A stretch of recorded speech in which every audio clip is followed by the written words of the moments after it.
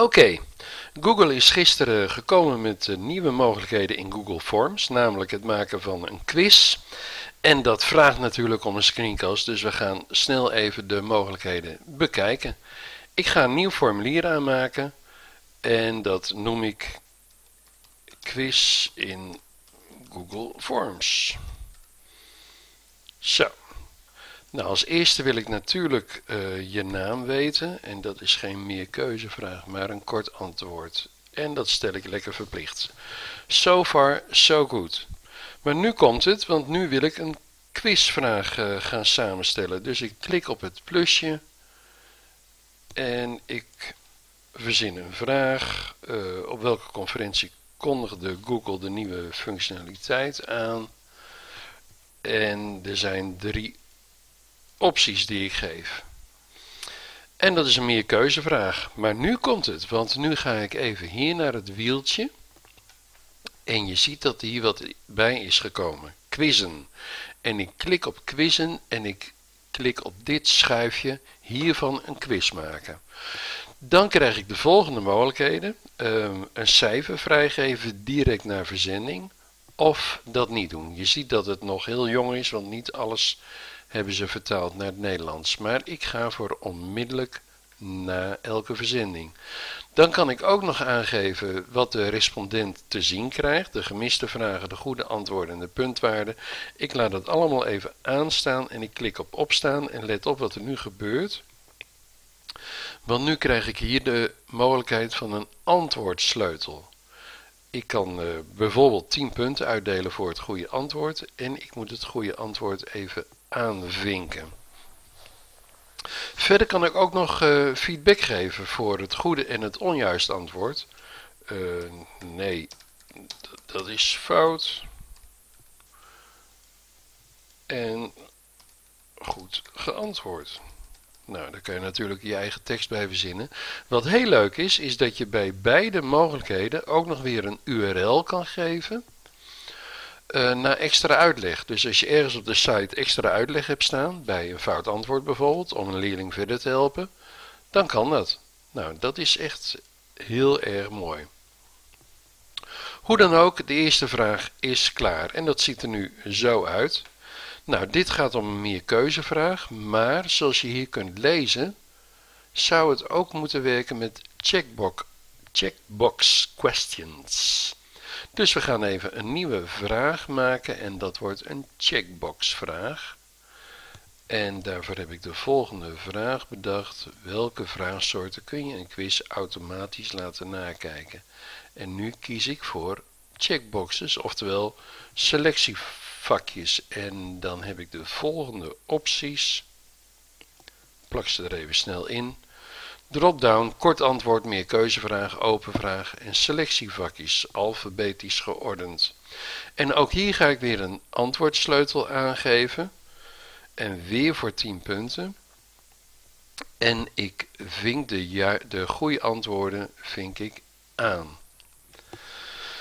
Maar hier zit toch iets van een bukje volgens mij. Tenminste, ik hoop dat ze dat nog gaan verbeteren. Maar ik laat het je zo zien als we naar het beantwoorden van de vragen gaan.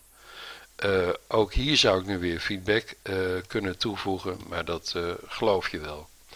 Nou, ik zal nog één vraag toevoegen om gelijk misverstand uit de wereld te helpen. Namelijk, heb je een Google-account nodig om je antwoorden te bekijken? En dan kan je kiezen uit ja of nee. En hier is de antwoordsleutel Nee, je hebt geen Google-account nodig om je antwoorden te bekijken. En ik ga dat zo demonstreren. Nou, volgens mij ben ik uh, klaar met de vragen en ik ga naar het formulier. Quiz in Google Forms. Mijn naam is Willem. Hallo. Op welke conferentie kondigde ja, wat was dat? De NOT? Nou, ik kan me dat niet voorstellen. De IPON? Nou ja, weet je, ik ga toch voor zeker. Ik kies ISTE 2016. Uh, welke vraagsoorten kun je in een quiz automatisch laten nakijken? Ik heb iets gelezen over meer keuze. Maar volgens mij ook selectievakjes. Heb je een Google-account nodig? Ja toch?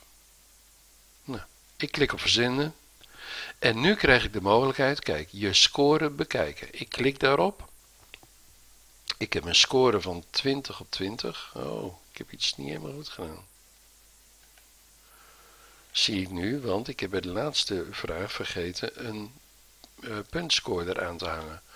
Maar even naar de eerste en de tweede vraag. Op welke conferentie kondigde Google? Ja, dat was natuurlijk deze. En daarmee heb ik 10 punten verdiend. Welke vraagsoorten kun je in een quiz automatisch laten nakijken? Ook dat heb ik goed geantwoord. En hier um, was het goede antwoord nee. Ik heb ja gegeven, ik krijg 0 punten. Oh ja, dat is natuurlijk logisch. Ik krijg 0 punten omdat ik het verkeerde antwoord heb gegeven. De Willem. Maar nou even terug naar die tweede vraag. Um, ik kan hem nog een keer maken. En dat ga ik nu doen. Uh, nu heet ik opeens Kees. Ja, dat wisten jullie niet. En ik vul hier alleen dit in. Heb je een Google-account nodig? Nee. En ik klik op verzenden. Let op wat er nu gebeurt. Score bekijken. Voor deze vraag krijg ik 0 punten. Terwijl de helft van de vraag heb ik goed geantwoord. En dat vind ik dus eigenlijk zelf niet juist. Wat ik had verwacht bij deze vraagsoort. En dan heb ik het over um, selectievakjes. Daarbij had ik verwacht dat je punten per onderdeel zou kunnen geven. Bijvoorbeeld 5 voor, voor deze, voor deze 5 en voor deze uh, 10 bijvoorbeeld. Maar dat is, oh dit is helemaal niet goed. En dit is ook niet goed. Dit is goed. Maar dat is niet zo. Je moet dus alle vragen bij selectievakjes goed hebben om punten, punten te kunnen scoren. En dat vind ik eigenlijk een beetje bijzonder. Maar goed, los daarvan, want ik denk dat ze hier nog wel met een uh, oplossing komen. Uh, ze zullen er zeker feedback over krijgen. En misschien denk ik wel verkeerd en vinden jullie het in de klas zo dat een leerling alles goed geantwoord moet hebben voordat hij punten kan halen. Ik vind het niet logisch. Hoe dan ook, um, quiz in Google Forms.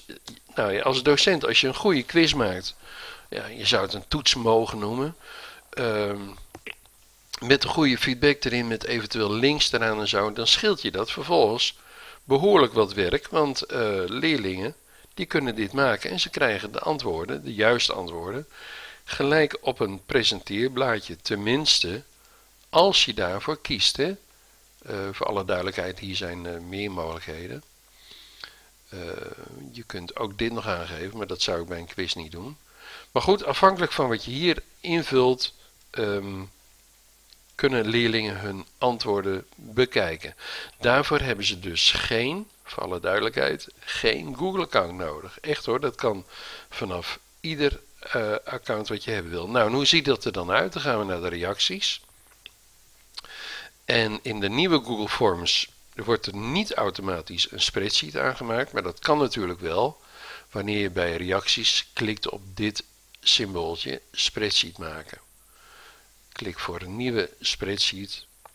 En dan zie je hier de spreadsheet. En het mooie daarvan is, en daarom heb ik ook om de naam gevraagd, en je zou ook nog om het e-mailadres kunnen vragen, dat je hier dan ook de scores ziet per leerling.